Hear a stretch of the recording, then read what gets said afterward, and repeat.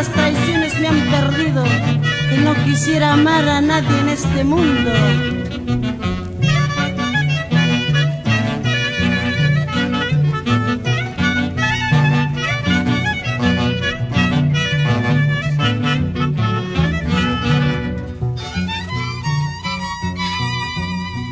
Estoy